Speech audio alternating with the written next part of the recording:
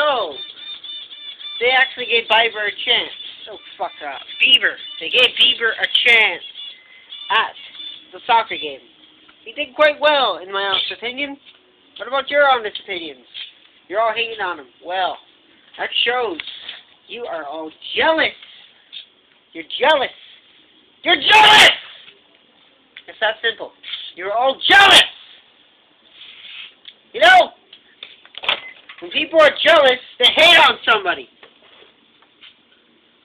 Or because they're popular, because they can't get popular.